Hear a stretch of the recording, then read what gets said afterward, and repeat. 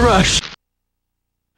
For me, video games serve as wish fulfillment. In my opinion, few games embody that better than Virtua Cop.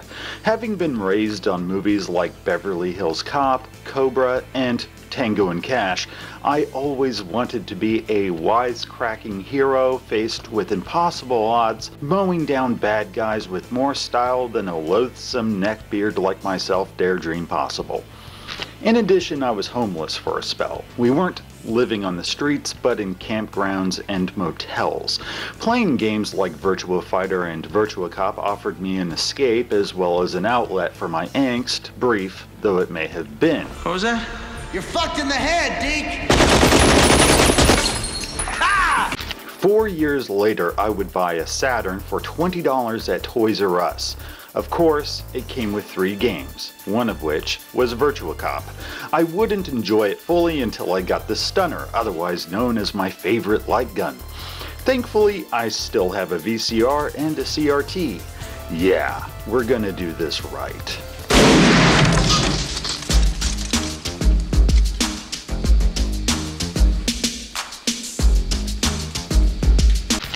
This game is almost 30 years old, and I love it just as much now as I did then.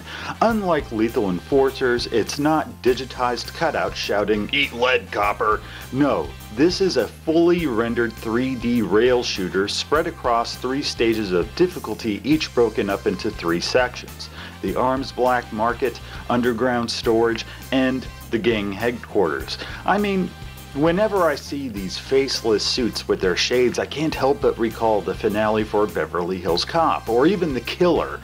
I look at Rage and Smarty and think Riggs and Murtaugh, or Tango and Cash. Bad cop? Worst cop. Even the plot reminds me of Hard Boiled.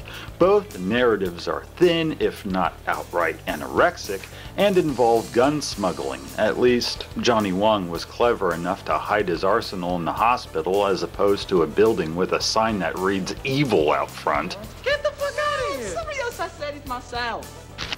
It's like you're acting out this wild bullet ballet in a virtual backlot, loaded with power ups, weapons, and a whole lot of explosions. Seriously, blasting these dick farting assholes through crates or panes of glass, blowing up cars, how can one not feel like Bruce Willis or Chow Yun Fat? Adding to the immersion is being able to target the enemy's body, limbs, or head, resulting in different animations, something we hadn't seen previously and would even inspire Rare when developing GoldenEye 007 for Nintendo 64. Excellent. Just the thing for unwinding after a rough day at the office.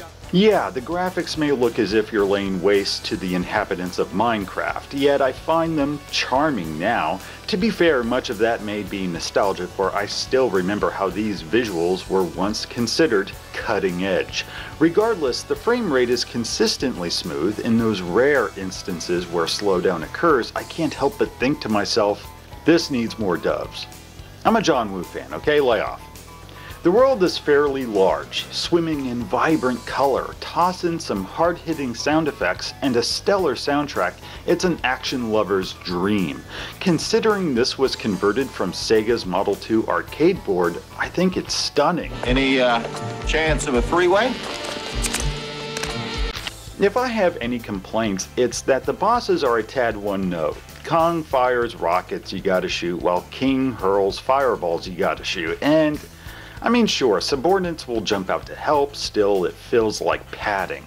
Boss and Fang make up for it with much needed theatricality, though much of that momentum you feel throughout the game is lost here. Would have been nice had they been more dynamic, like you were chasing after them or something. Not a huge gripe, I'm just saying. The Saturn provides some sweet features like free play and gun select, as well as more basic offerings like difficulty, lives, etc. As for Virtua Cop 2, I've decided to lock it behind some ridiculous paywall only patrons will be able to access, which will be erected as soon as the seas boil and the sky falls. You know, you're really just full of shit. There's the John. Okay?